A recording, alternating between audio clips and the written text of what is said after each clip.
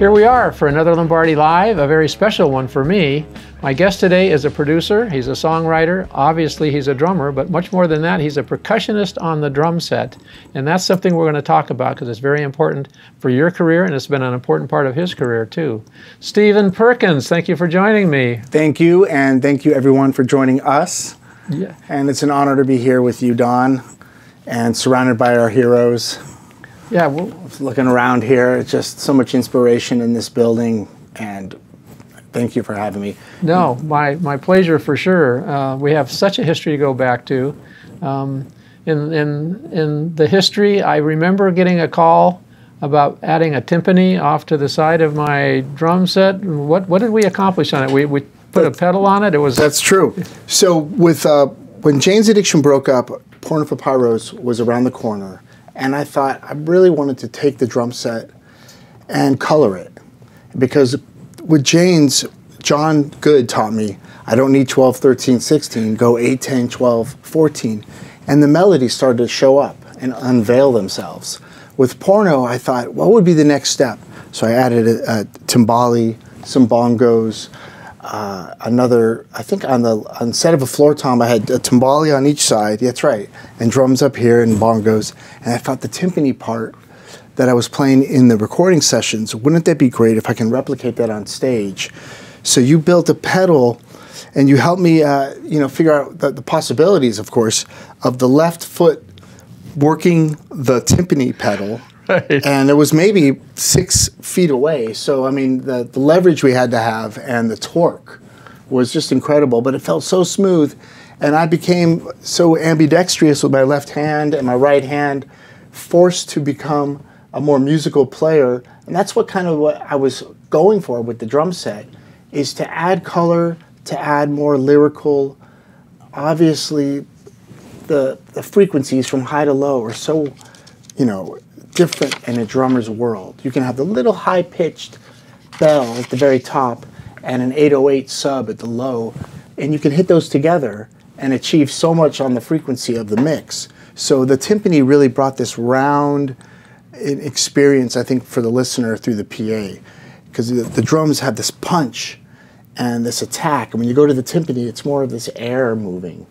So the, the pedal itself still works. Me and my tech, Mike, uh, Mike Greisiak, we found all the parts, we oiled it up, we tuned it back in, and Pyros is going out in February. So I'm bringing that timpani back out. We're having issues finding a case for it because I sold all my cases 20 years ago because you, you buy a bunch of stuff and then you realize they're sitting in storage and you don't need them anymore. So uh, we will be bringing the timpani back out. And I was just talking to the stage manager what my footprint's going to be on stage because my drum set itself is eight by eight. You add that the pedal and the timpani, it's another four or six feet to the left. So uh, you're going to see a massive community of drums on the Porno for Pyro stage, which, you know. and a history about how they happen to come to be too. Yeah, exactly. Now you know. the warranty is almost out on the timpani pedal, so you better get it back to me if you need any repair on. it. So it was only a 40-year warranty. Yeah, well, you know, the funny thing is, I bought that timpani straight from Ludwig. You you uh, sized it up with the pedal, and then Mick Fleetwood had a big sale at Third Encore here in Los Angeles, and I bought one of the Mick Fleetwood Fleetwood Mac timpanis. So I have that at home. So now I have two timpanis, one fitted with a pedal, and it's just a beautiful musical instrument. And I always find when you get a new snare drum, if you're lucky enough, and or some new cymbals, or perhaps a, a percussion instrument as large as a, a timpani or small as a bongo, it changes your ideas of what rhythms can do and how small or large the rhythms can be and how they connect to each other. And I spend a lot of time with my drum set and listening to the different sounds like Bozzio or Neil Peart or some of the drummers that had the bigger drum sets. Why are they there? What's the purpose of having these different sounds? And it's about real estate in the mix. What part of the mix do you want to use and bring attention to while the listener is experiencing this? Now, I love going to a movie, and there's so much. There's the dialogue, there's the Foley sounds, there's the music, and the mixing job is just so important for a movie. And same with rock and roll music or jazz music or, or R&B and hip hop. you you start with the the kick drum and the bass, and it has to have a highway they can feel, and the vocals and the cymbals and a little bit of the keyboards can be above them, kind of tinkling down, and then the punch, you know, the song has to punch you right in the face. So I always think about this when I'm playing my drums, and back to the timpani, that brings a sound so foreign to rock music. It's more of an orchestral drum and it's tuned to the orchestra or the symphonic moment. So I love bringing those sounds, timbali, bongo, timpani, into the rock and roll, you know, the punch of rock and roll, but have these different flavors from the drummer. And I think we're so lucky as drummers, we can play punk rock, we can play jazz, we can play reggae, and that's all in one song.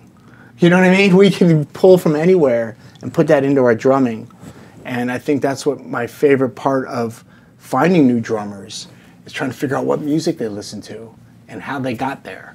You know, why do they play that that way? That and they're listening style. to you, by the way. Well, that's good to know. You know, it's it's good to know when you make music and you're influencing the people around you. And you, in LA, of course, I was born and raised. So many players. It's just saturated with musicians and you bump into people that affected you and you affected them and then one day you get to work together and you can affect more people you know and inspire people a project i worked on with you which is so aptly named hands feet mind and soul. Yeah. Uh, that's such an important part of your life and your career i know.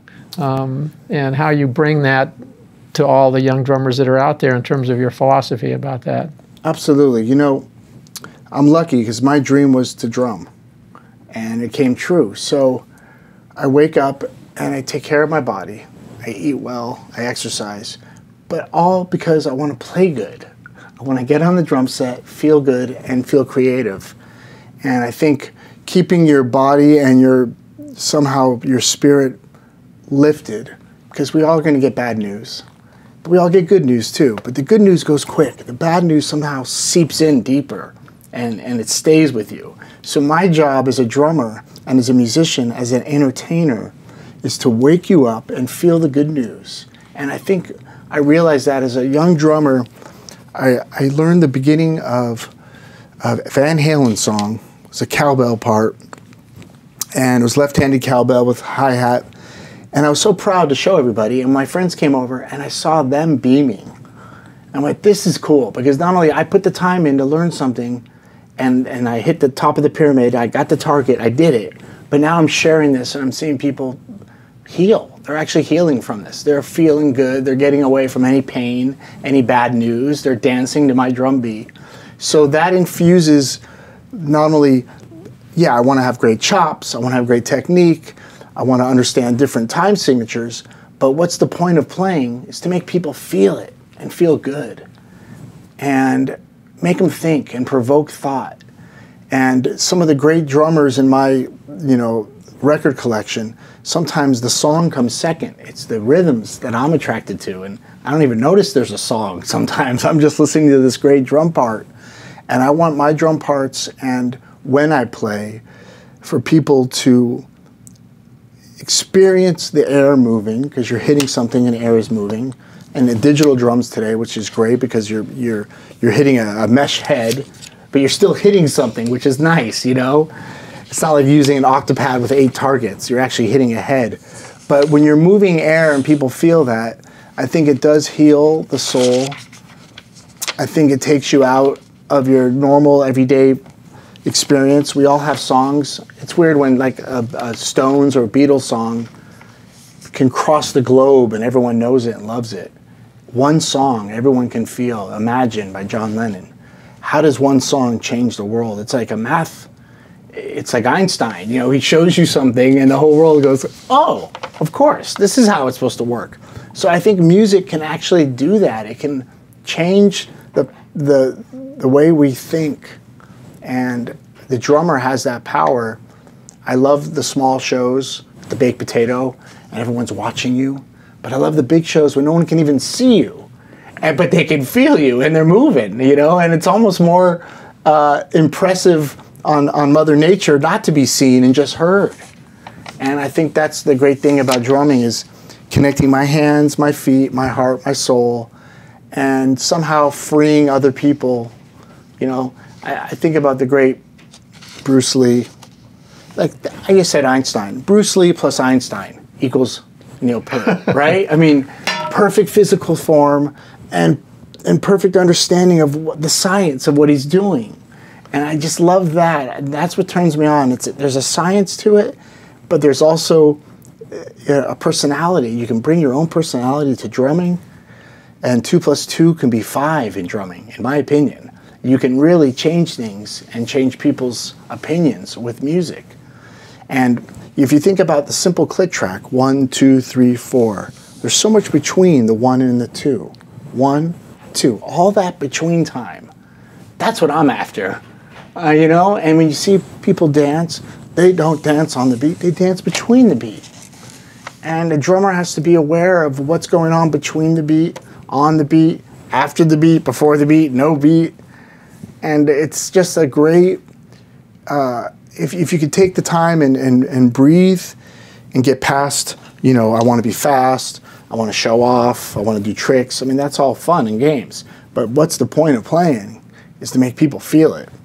And, and that's what, you know, my favorite drummers do to me.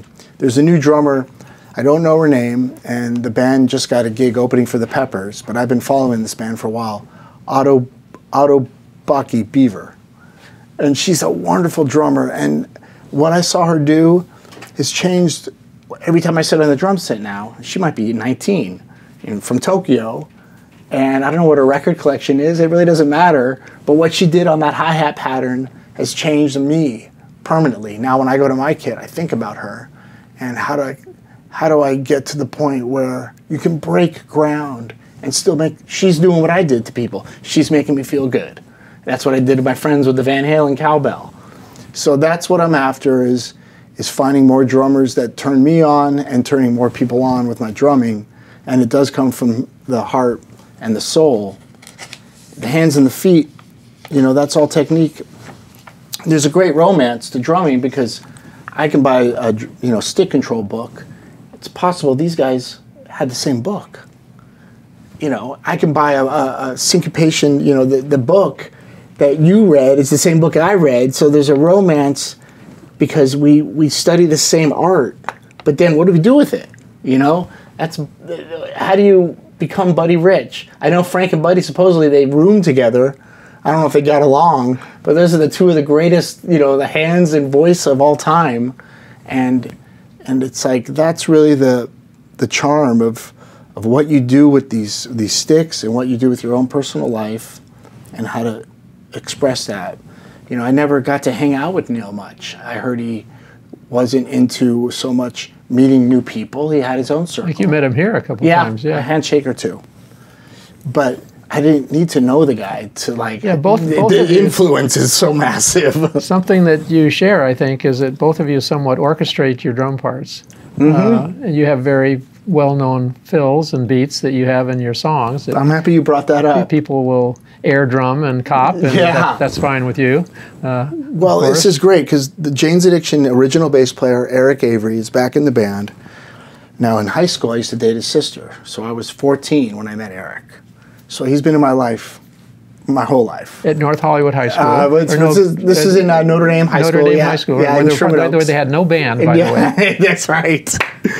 So I, uh, you know, I'm dating this girl. I meet her older brother, and he writes great songs, and he doesn't so much want to show off on the bass. He wants to show you a, a song, and then he says, "What kind of drum beat could you write to this song? Let's not change it." You know, to me, his bass lines are a haiku there's five syllables. You don't move them around. That's what it is, you know, and that's the bass line.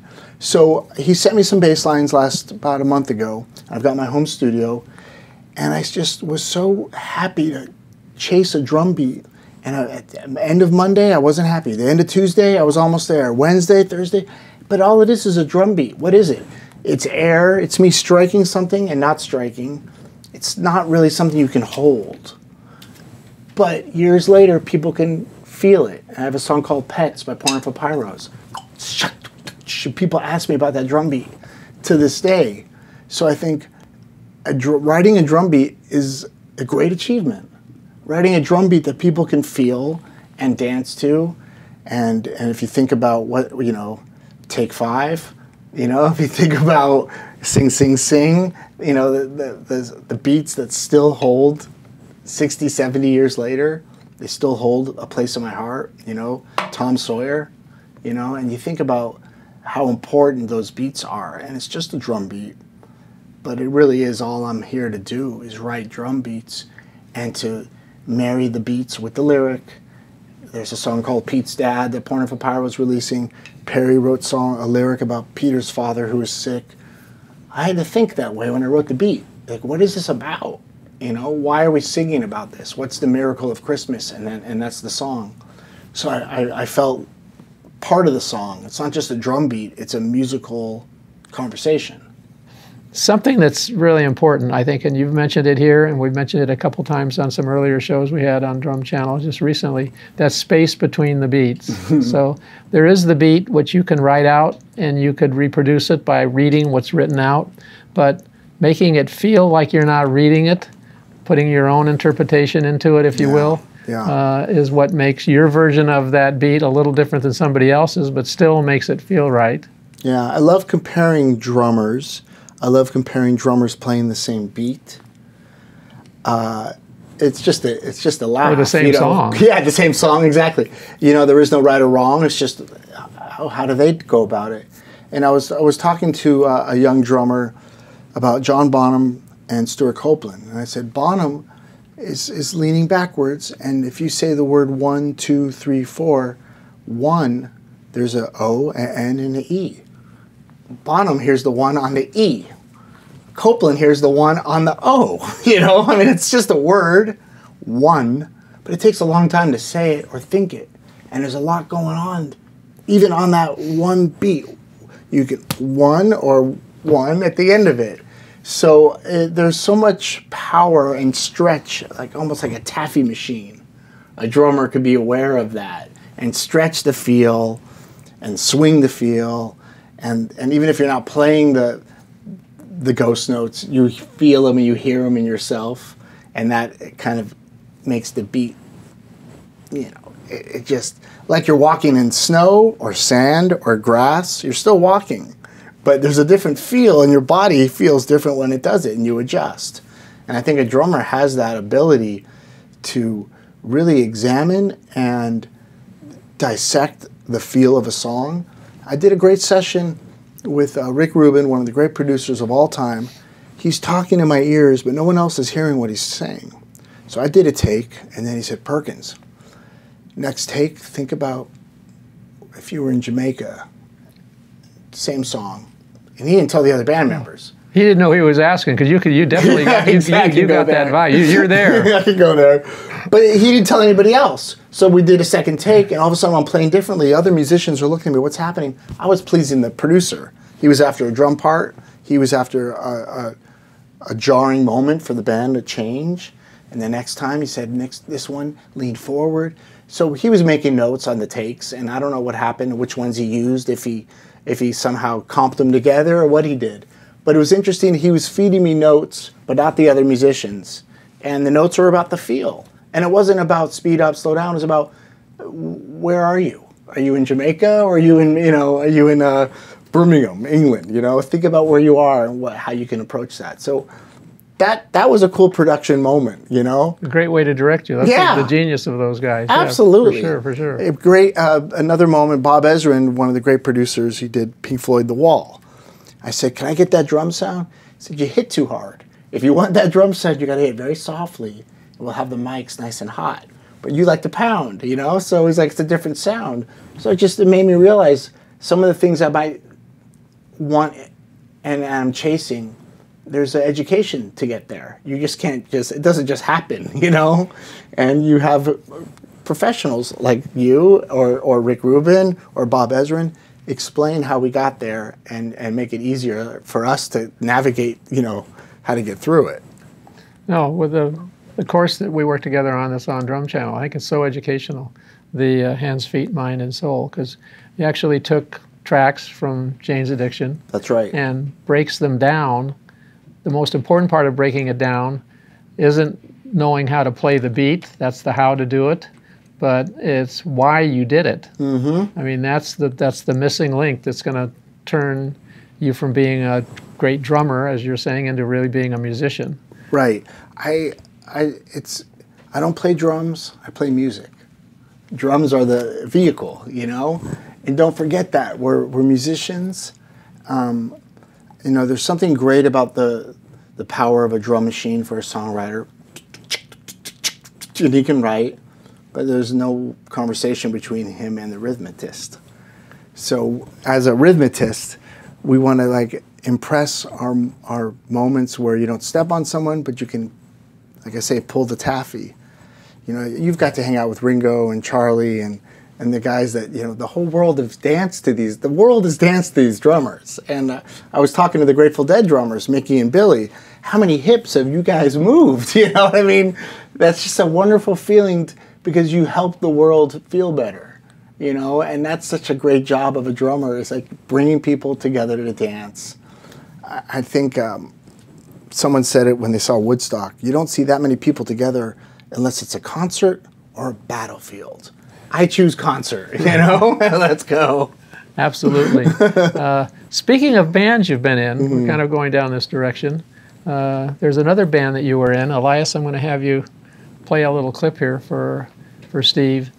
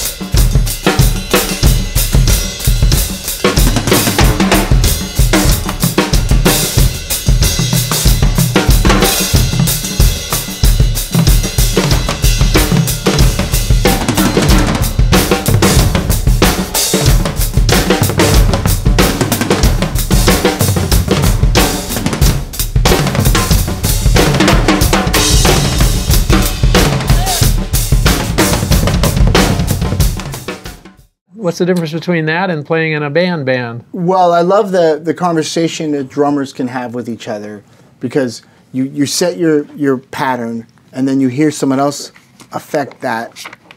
You can't help yourself but to kind of maneuver, and you keep maneuvering, and I think that's the kind of like a uh, and like nearly an ant trail when you see all the ants going together you know there's a pattern there and they're all moving in the same direction but when you get close you can see there's there's chaos. But far away and, organically, it just feels right. And drum circles in LA, growing up, I used to hear them in Venice. And as a youngster, I wouldn't join them, but I would watch and I would hear this rumble. And it sounded, I guess, in a sense, like a, a celebration, which is strange, you know? A bunch of drummers banging. Tribe-ish. Yeah. yeah, but it's a celebration. It doesn't, you're not going to battle and you're not you're not going to like bring people into like this anger mode. It's a celebration. I love that about drumming. It makes you want to jump and hop, And Jane's Addiction always opens the show. I have Baba Babatunde Olatunji recordings. So I have Baba Babatunde African drumming for at least 20 minutes before we hit the stage. And usually we start at, six, at 60 dB. Five minutes later, 68 dB. Five minutes later, 75. So the drums are getting louder and louder before Jane's hits the stage. You don't even notice. People are just tripping out. And it's like, I don't want to play Iggy Pop or, uh, or rock and roll before we go on. Let's get people in a headspace. Let's play them some, some jungle, you know, sound of the jungle. And I always think about the jungle. And you think about African drumming. And then you think about an elephant walking. There it is. They're, they're imitating what they see. You hear a bird, you know, in the, in the, the feathers in the tree, and then you hear the shaker. And I, I hear the environment in the drumming. And then you go to New York City, and of course the music's gonna be a lot different because there's linear streets and cars and lights. You know, you don't hear the African rhythms of in New York City. But I love hearing on that actual jam we just did, none of us are from Africa. None of us have the same record collection, but we all are very similar in that drum tribal conversation. It just happens naturally. And you don't step on each other even though you're flamming. You're not you're not stopping the flow even though some of some of us are changing the direction. And I think that's the the cool thing about drummers and drum circles and playing with other drummers is is, is watching each other and of course the competition, the competitive spirit, who's going to do what and show off a little. That's always fun. But joining the force together to make this this combination of sounds, you know, and like I say, it's a celebration. It's conversation, really. Yeah, it really is. Percussion discussion. There you, you go. Know? And I, I always think when I do drum circles, I love bringing a kick and a snare. And let them do the hand stuff so I can keep that, that that street, that highway rolling. And it feels good because I feel like, you know, when like sharks are swimming and there's other little fish cleaning it, I feel like I'm the shark, you know, and then the little drummers are clamping on and flying away.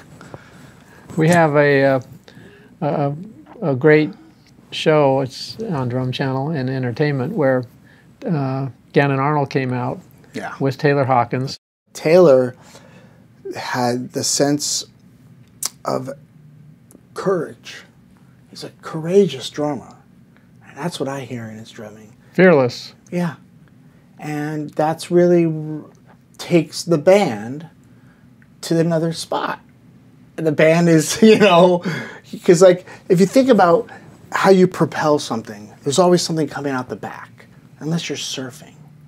You are propelled by the power of the wave and it, Taylor's like a wave. You know what I mean? The other band members are surfing on Taylor.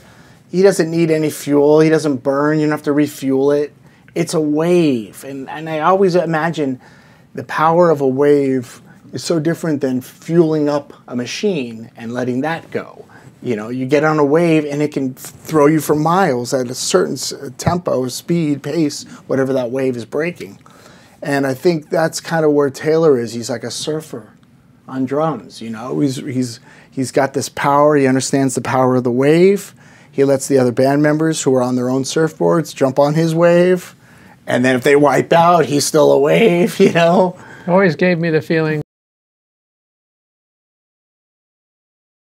that you were in a club. Yeah, you always felt like this. You're a club, and this guy's sitting in, and he's what is just going for it. He you is. Know, what, what is he going to do now? What's what's happening next? And uh, you know, there's a drummer to lose. There's been so many great drummers in our community come and go. You know, we got Neil Peart through through life. Yeah, many. Yeah. so many age. great drummers. And I was telling my kid, thank God there's recordings because when you think about Beethoven or Mozart, we're not sure exactly how they wanted us to hear it. They wrote it. We have a conductor, and the conductor can do Beethoven's Fifth in 12 minutes Another conductor can do it in 11 minutes and 48 seconds. It's the same piece because one conductor speeds it up, one conductor does it slowly. We're not sure how Beethoven would have done it, but we are sure how Neil Peart would have done it because we can buy the record. Yeah. We're exactly sure how T Hawk would want us to hear it because we can buy a Foo Fighters record or you know any of his uh, other projects what he did. So I love that we lost our favorites, but there's recordings of them doing what they did best and we can go and listen to John Bonham and Keith Moon and Buddy Rich and Gene Krupa and go, they were alive at one time and listen to what they did. No one's done it better since. I mean, and one commonality all drummers have, no matter what generation you're going to, is they have two hands and they have two feet. exactly. and they're going to do something with those, and they have one brain yeah. that's going to dictate what your hands and feet are going to do. Um, I was so thankful that we had Taylor out here on several occasions, and you were with him on one of our premier mm-hmm. interview shows with Chad Smith and Gary Novak, which goes on for over two hours, yeah. talking about life and everything else that has to do with bringing those influences, your life experiences, into your drumming and how important that is. But that's something you guys should check out too. if Taylor's a, a, a great. He likes to turn people on to music. Like I was saying earlier, when I learned the cowbell part, and he sees people get turned on, and he loved that about music, turning people on, and so that to me is the gift he gave us. And his his young son Shane is a great drummer, and I, I think we're going to see a lot of wonderful things come out of Shane on the drum set. Yeah, there. There is a DNA, I think. I've said this for years. I think there's got to be some type of a drumming gene that they're going to have to find at one point because there's it's too much coincidence, you know. In that situation, the mm-hmm. Wackermans. I mean, we can go on and on. It's like uh, they have their yeah. own uh, interpretation, their own personality that they put into whatever they're doing. Mm-hmm. Each one of them, even in the Wackerman family. Exactly, uh, they're all but, different. But uh, you got Jay Weinberg and Max. Yeah. You know, so yeah. to their their careers went in two different directions musically. However, Jay could sit in with as he did and I play know. for a while with Springsteen and cover that gig too. So, uh, but Pop could have sit in with Slipknot. Well, I, I, I, suggested that instead of going to the gym, yeah. I said just go sit in with them for a half yeah, exactly. hour, and you've got your oh. you've got your you've got your workout for sure. Well, um, that's what's great about drumming is like you can see this technical side, this physical side, this athletic side, and and then there's the music. I mean, there's so much a drummer has. It's such a great instrument, you know. I mean the music comes first, but all these other things have to come into play to be good at it. You talked a little bit. You talked a little bit earlier about how music can get you through good times and hard times, and that's part of what we want everybody to experience music because everybody has good times and hard times for sure. Mm-hmm. Uh, and getting out those sticks and playing for a little while can, or listening to a track that makes you feel really good. Um, we all have our favorite ones that if you play them, it's going to make you happier. You're yeah. going to forget a lot of the problems yeah. that you might have as life goes on. And you shared with me a track a little bit earlier that kind of touched on both of those things. Uh, good time of the holidays, hard times. Oh yeah. But explain yeah. a little bit to the audience what we're talking about. Yeah, uh, one of my bands, Porno for Pyros, we haven't worked in 26 years, and we're starting to get the the mojo's coming back. And we had some old songs we never finished, and one was called Pete's Dad. It's a Christmas song, and Peter and Perry went out to dinner together with Pete's family, and they got good news that Peter's father's cancer was in remission. So they picked up a guitar and they we wrote a song that night. And so the song is about the celebration of life and facing the dark side and whatever the answers might be, if it's not what you want to hear, or possibly it's the best news ever, is taking that and, and using it somehow to celebrate family and life. We put the song in 3 4 or 6 8. It, it tends to move into 4 4 too as well, because they all do. But like all good Christmas songs, they should be in 3 4. And it's just a wonderful piece of music because the lyrics are charming and sad, but also so real. Because, like you said, all of us have good and bad times. And music and art is what separates us from anything else. I mean, think about a person can actually invent and create a computer or the Eiffel Tower or a jet engine or a Camco pedal. And these are things that we get to use to improve our life and, and feel better about you know why we're here and what we're doing here. So that song is really a celebration of why we're here, what we're doing in this time, and what we do with each other in the time on, on Earth. So Pete's Dad is the name of the tune. Uh, I played an udu drum. That's the, the, clay drum with the hole. Sure. I played udu. I used a 16 inch floor tom with a towel over it with the Ringo effect. Um, a very dry snare drum and some 13 inch hi hats. And that was my drum kit. We have Lili Haydn playing violin. And it's just a wonderful piece of music to think that the band's been asleep for 27 years and to come up with music like this makes me feel good because I want to share it with people.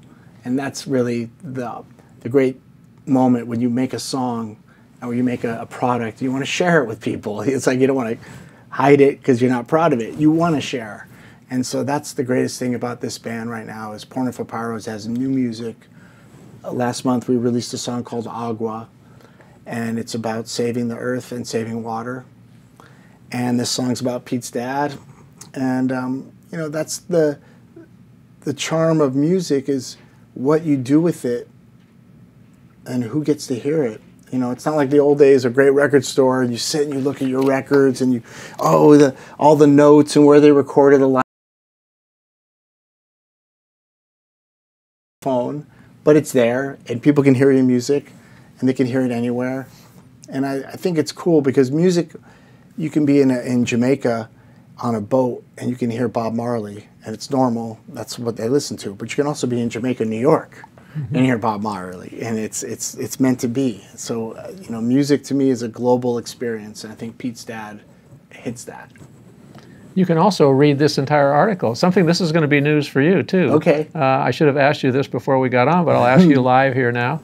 Um, we'd like to have you honored in our January cover of, uh, of our newsletter for the month of January and we'll be transcribing this interview so you can read it if you don't have the opportunity to, to be That's watching cool. it at the same I'm honored. time too. Uh, answers yes over and over, and if, uh, anything I can do to help get it done, you know, if you need to find out what is he talking about, some editing notes, I can I can clarify. No, we can we can hear everything you're talking Yeah, about. That's, that's for sure because it's what a what a what a history you have going back to. You must have been. I'm really far out guessing now. Early 20 with Jane's Addiction. Jane's Addiction started. I was 17. 17. Wow. 1986, right out of high school. And it was we made it. If we had a good gig, we made it. Of course, it didn't pay your bills, it didn't change your life, but we played well. And every time we played well, I felt like there was something about the band. Uh, we had something. We had a purpose and that was that was really what it felt like. We had purpose. And our singer being 10 years older than me, you got to imagine a 26-year-old wanting to play music with a 17-year-old, you know, and the lyrics, that's why his lyrics to me were so different because he was writing poems and he was a young man and I was still a teenager. So the poems really opened my eyes and like you said, what are you going to do with a drum beat if you have lyrics like this?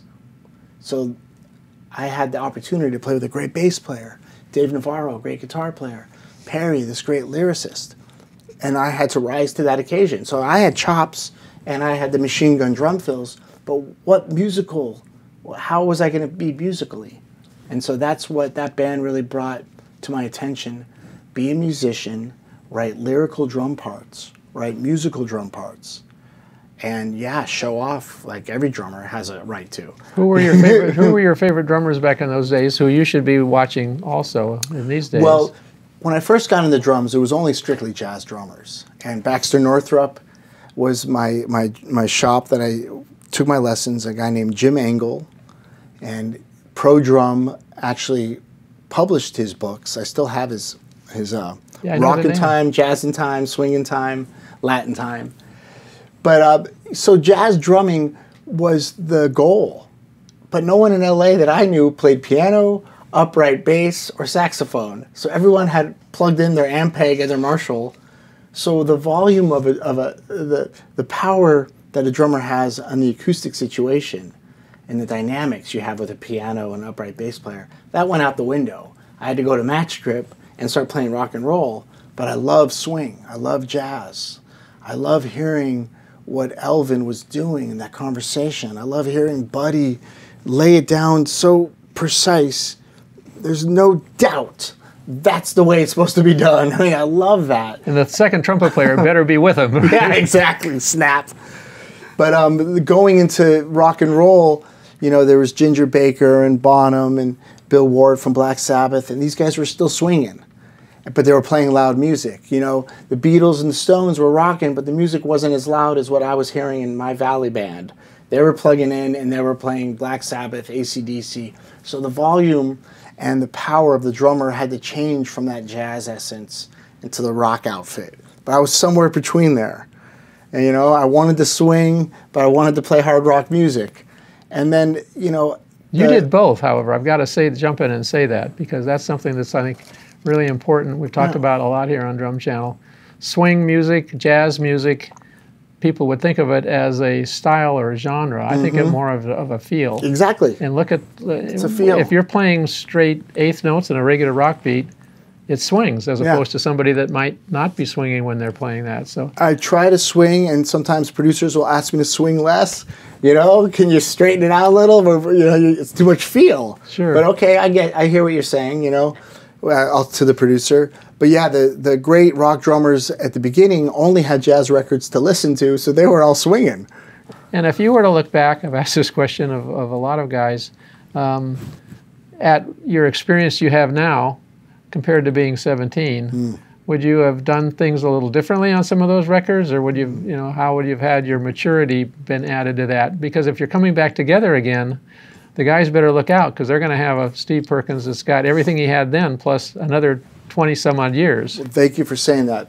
There is that great challenge playing the songs live with the endurance and stamina and the power and urgency you had at 18. But why did you write it like that? The courage, like the Taylor Hawkins courage. Why did you take those chances? Would you be so bold? to try those things? And I think the answer is yes. You know, I would be. You were possibly so naive at the time. You didn't know. You were just. You didn't. You didn't. And uh, you know, and a lot of people thought drummers were replaced on records. A lot of bands didn't have a drummer that was good enough in the studio, and I didn't understand that philosophy because that would make all the bands sound the same if you used studio drummers. But I get it now. As a drummer, if you can't hold it together in the studio, it's very obvious you don't want to hear the record over and over, even a great song. So the, the challenge that I had as a 17, 18, and 19 year old to perform in a studio, that was new to me. Now that pressure changes, it's a studio, and that's not good because you want to bring that, that essence, that fire into the studio, you know? So I have my own home studio, which is great because I can study and microscope my drumming. I can record stuff. No one's around. I can go into the, into the you know the engine room and listen to it, and and wonder why or how I got there, or should I never go there again without anybody you know around. So I do have time to to microscope and explore myself, but I'm I'm I'm a better drummer.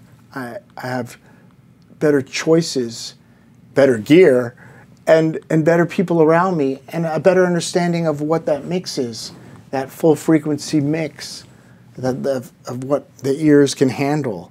And now i know i don't have to do all this all the time.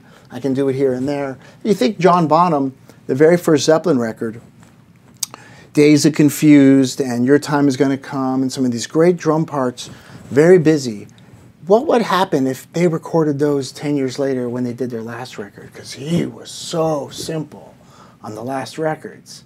I wonder what he would have done with those songs.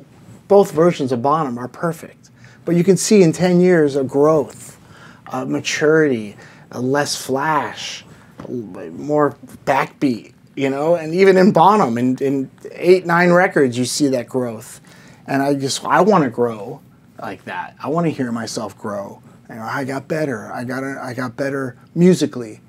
I understood what to do. I hear Pete's dad. I like what I did. When I'm talking. I'm a talkative drummer, though. By the you mentioned a Christmas, you know, song. Yeah. It's a song that makes you feel good any time of the year. Don't That's true. Yeah. Just at, just at Christmas. yeah, we got we got to put it out for Christmas. But I hear that drum part, and it's talkative. It's busy. I'm everywhere, but that's me. It sounds like me. You said it. So that's good news. You know, I want to get better, but I also don't want to abandon what I worked for. Me. I worked to get my sound. I've got a. Uh, a firing line of questions for you here, which okay. I haven't done live before on Lombardi Live. Usually, because you're going to be the cover of our January newsletter, um, we would approach you, you know, outside of, of the interview and just ask you these questions. But I'll put you on the hot seat. Yeah, now. what's that? Okay. Uh, uh, we'll kind of zing through them. Your favorite destination? Tahiti. Ah, what uh, are you? When are you most creative? Morning or night? Mornings. Favorite song to play, if you had to pick one. Thank You by Led Zeppelin. If you could put together a, you've already put together a dream collab, but if you put put together another dream collab with other musicians, what would you think it would be? Hmm. I would like, I'd love to get my hands on a piano player and an upright bass player. Now, as far as what year and genre, I'm not sure, but I want to get my drum set next to a piano and a bass player upright, and I love the dynamic that that conversation will have. We should get Lee Sklar to bring out his upright bass again and get it going. So, That'd be great. Lee's a swell Uh, guy. if you didn't play drums, uh, is there another instrument that would be, or what is your second instrument now? I guess I would say. I would say piano. There's nothing better than bringing a room to life behind a piano. I, I think it's just magic. Starbucks order. Are you a Starbucks person? You're good. I've, I've gone into matcha latte lately. Okay, I'm, I'm a matcha guy. okay. Yeah. Uh, favorite food? If you have a, or, or type of food? Yeah, I, Italian food. I did a trip. I did a trip to uh, Italy about two months ago, and we were in Verona, Roma. We were in, I think, Florence for a day, Venice for two days, and it was just such a great trip all around. The food, the people, the flavors, the smells. You into food treats? So you got a you got a uh, a sugar spot there where you like to have specials in the dessert kind of thing, or You know, to me, it's also going back to uh, Italiano, tiramisu. oh, okay, Yeah. you're finishing the whole thing up. Um, what time do you go to bed at night? Are you a late nighter or? Well, I tell people I'm nine to five, nine p.m. to five a.m. That's how. That's my work schedule.